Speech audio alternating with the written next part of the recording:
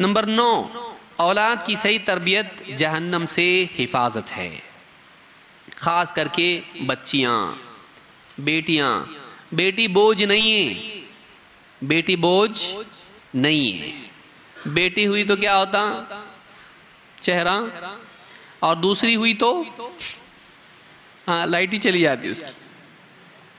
हमने देखा है दवाखानों में जब बेटा होता है तो मेन जो जो दाइयाँ जो भी नर्सेस होती हैं, उनमें आपस में इख्तलाफ होता है, कौन लेके जाएगा बाप के पास, क्योंकि इनाम मिलने वाला है।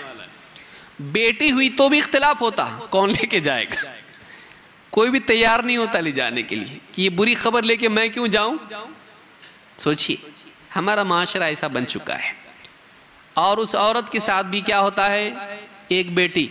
अब मान लीजिए किसी को पूछेंगे कि क्या हुआ? बेटी हुई। उसके बाद क्या हुआ? बेटी। बेटी। यानी वो वो इंसान और कोई आदमी कहे कि मेरी तीन बेटियाँ हैं तो वो तो बोलते तीन? यानी उसके ऊपर रहम आता लोगों को। तीन बेटियाँ का मतलब गया काम से ये तो। गया खत्म। इससे ज़्यादा मजलूम कोई नहीं सब उसको देखते तीन बेटियाँ उसके साथ में रहम करते लोग। तीन बेटियाँ कितनी कीमती हैं? वो तकदीर वाला आदमी है जिसको अल्लाह ताला ने तीन बेटियाँ दी हैं। तीन बेटियाँ बहुत बहुत कीमती चीज़ है, नेमत है। अल्लाह के नबी सल्लल्लाहु अलैहि वसल्लम फरमाते हैं मनिबतुलिया मिनल बनाती बिशई जो इंसान बेटियों के ज़रिए बनात एक, दो, तीन के लिए आता है। अरबी ज़ुबान के एतबार से प्लूरल के लिए आता है वो, जो दो से ज़्यादा होता है।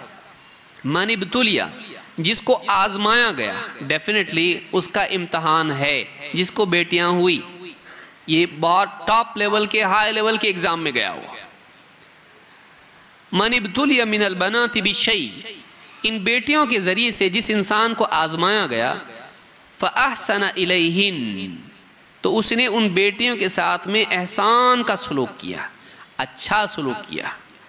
फ़ाहसना इलहिन कुन्न लहू सितरम मिनन्नार ये बेटियाँ, उसके लिए जहन्नम की आग से आड़ बन जाएँगी, रुकावट बन जाएँगी।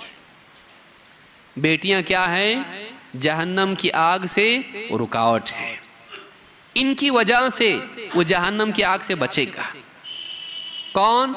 जिसने बेटियों की अच्छी तरबियत की। उनके साथ अच्छा सलूक किया। धुतकारा नहीं। धुतकारा नहीं। उनको देख के नहीं बोला, तुम्हारी वजह से मैं परेशान हो गया। तुम्हारी वजह से, तुम्हारी वजह से मेरी रातों की नींद खराब हो गई। तेरा तेरा तेरा, बच्चियों के अंदर इंफीरियोरिटी कॉम्प्लेक्स पैदा हो जाता है कि एक बच्ची है उसकी उसकी निकाह की भागदौड़ जब देखती है दूसरी बच्चियाँ तो उन्हें अफसोस होता है कि अब इनके बाद हमारा भी तो नंबर है। तो बाप को फिर से एक सदमा होने वाला है, एक बेटी के लिए देखो कितना उसको करना पड़ रहा है।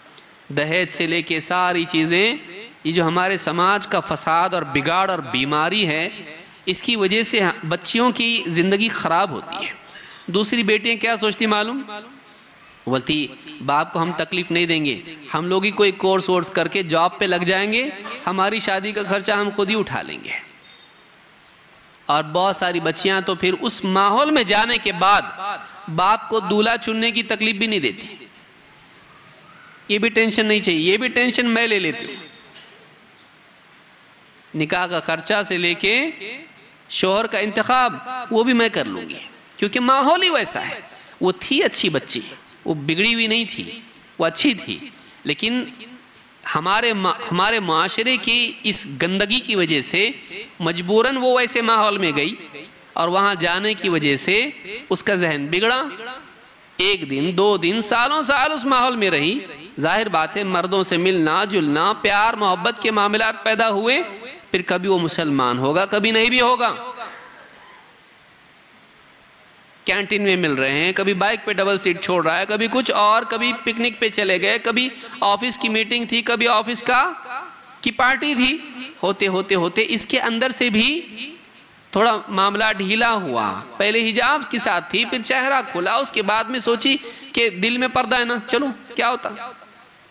तो पर्दा भी छोड़ दी। और उसके बाद उसके साथ उसके रंग में रंग गई। वो मुसलमान भी नहीं था। फिर उसके बाद सोची कि हो सकता है, ये तो अपने दिन पे रहे, मैं अपने दिन पे रहती हूँ। उस माहौल में चली गई। कई बच्चियाँ ऐसी होती हैं। दहेज की रस्म को ख़त्म करना चाहिए। और निकाह को आसान करना चाहिए। निकाह खर्चे वाला नहीं हो, सादा सीधा निकाह हो, ये लड़के वालों का काम है। लड़के वाले डाकू नहीं होना चाहिए। अल्लाह का दिया हमारे पास सब कुछ है, अगर आप अपनी बेटी को कुछ देना चाहते हैं तो हम मना भी नहीं करेंगे। लाओ ट्रक भर के। ज़रूरत क्या है आपको? भीख मांगने का ये सोफिस्टिकेटेड तरीका है। आप ऐसा बोलो, अल्लाह का दिया हमारे पास सब कुछ है। आप अपनी बेटी दे रहे अपने जिगर का टुकड़ा दे रहे परवरिश करके इससे ज़्यादा आप क्या दे सकते आप और दे के हमको शर्मिंदा मत करो। हमारी समाज में नाक कट जाएगी अगर हम आपसे कुछ लेंगे तो। हमारी, आप अपनी इज़्ज़त का ख्याल रख रहे ना? हमारी इज़्ज़त का आपको ख्याल नहीं क्या? मत दो हमको कुछ भी। पर डट के बोलता नहीं ऐसा, क्यों? सचमुच मान लिए तो मेरी बात हाँ? अगर लड़की वाले अच्छा ठीक है, आप बोले इसलिए ठीक है, आपकी भी इज़्ज़त हमारी आपकी इज़्ज़त, हमारी इज़्ज़त। बोला कि नहीं नहीं नहीं बोलने का मतलब वो नहीं है। हाँ। देना चाहे हम आपको आपका भी दिल नहीं तोड़ना चाहते देना चाहे दे सकते आप। तो बोलता बोलना क्या चाह रहे आप भाई? हाँ भी बोलते, ना भी बोलते, साफ़ चुपते नहीं, सामने आते भी नहीं। क्या है ये मामला? ये हमारा समाज है। हमारे अंदर चोर है। डट के बोले, नहीं का मतलब नहीं। दूल्हा भी बोले, अगर दिए तो मैं जा रहा भाग के। कहीं चला जाऊँगा, मैं नहीं आऊँगा शादी में। ऐसा रहा अगर मामला तो अब दूल्हा भी कहता था, मैं तो लेना नहीं चाहता था, ये भी है, ये भी निकम्मा है। मैं तो लेना नहीं चाहता था, लेकिन माँ बाप जिद कर रहे हैं तो शेख लिए तो कोई गुना तो नहीं है ना? मेरी तरफ़ से तो बात नहीं है उन्होंने ऐसा किया। अगर मैं कुछ करूँगा, हमारे घर में इख्तलाफ हो जाएगा। मौनी साहब बोलते काय को मैं इख्तलाफ करूँ? मेरा नाम क्यों बदनाम करता हूँ? देखो, अगर फितना नहीं होता हो तो ले सकते हैं, अगर उन पर दबाव नहीं तो फिर मैं क्या कहूँ? मौनी साहब बोले, चलता। नहीं का मतलब? नहीं। कई बच्चियाँ घरों में बैठी हुई, दीनदार, इज्जतदार, खूबसूरत, खूबसीरत, सिर्फ़ ये पैसों की वजह से उनका निकाह वक्त पे नहीं होता। माँ बाप परेशान हो जाते, बीमारियाँ लगा लेते, कितनी सारी, दिल की बीमारी, फेफड़े की और किडनी की। आप क्यों ऐसा करना चाहते क्या इस समाज की पकड़ नहीं होगी? अल्लाह का आज़ाब नहीं आएगा। अल्लाह ताला से दुआ करें, हमारा माशरा ऐसा हो जाए, दहेज लेने को हम लोग जिल्लत समझें। दहेज लेने को हम लोग जिल्लत समझ, बरहना होने जैसा समझे चौराहे पर। ऐसा हम समझने लगेंगे, तब जाकर वो खत्म होगा। हमारी इज़्ज़त जाएगी, ऐसा समझना हम लोग। तो जो अपनी बच्चियों की सही तरबियत करे, क़यामत के दिन वो उनके लिए जहन्नम से बचाव बनेगी। इमाम अल बुखारी ने सही बुखारी में किताबुल अदब में हदीस नंबर पाँच हज़ार नौ सौ पचानवे और सही मुस्लिम में इमाम मुस्लिम ने इसको हदीस नंबर दो हज़ार छह सौ उनतीस पर रिवायत किया है। तो इससे मालूम होता है कि बच्चियाँ हमारे लिए जहन्नम से बचाव का ज़रिया है। ये नहीं तो हम कैसा बचेंगे जहन्नम से? तो बहुत बहुत कोशिश करनी पड़ेगी। ये तो इजी इजी है। काफिर भी पालता ना बच्चियों को। आप देखिए, एक गैर मुस्लिम भी पालता। जानवर अपने बच्चों को पालते हैं कि नहीं पालते? संभालते कि नहीं? चिड़िया से लेके कुत्ते बिल्ली भी पाल लेते हैं।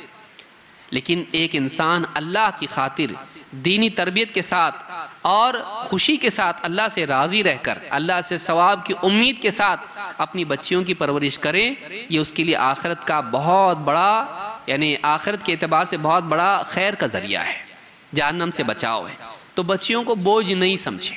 बच्चियों को बोझ नहीं समझे। आदमी खुशी खुशी बोलना तीन तीन बेटे हैं कि तुम्हारे पास? ऐसा बोलना आदमी। दूसरों को कैसा बोलना उन? मेरी तीन तीन बेटियाँ हैं, कोई बस्ती में ऐसा माइकलाल जो इसके पास तीन बच्चियाँ हो? तीन तीन बच्चियाँ हैं मेरी। और तीनों बच्चियाँ दीनदार हैं। क्या खुशकिस्मत इंसान है क्योंकि उसकी नस्ल जो चलेगी आगे सारा इसके नाम अमाल में रहेगा कि उन बच्चियों ने अपनी औलाद की सही तरबियत की, घरों में गई, घर बसाए, सबको खुश रखा, सास, ससुर, शोहर और भाई, बहन, सब जितने, बच्चों की तरबियत, कितनी कीमती चीज़ है। एक नस्ल अच्छी बनी उसकी वजह से।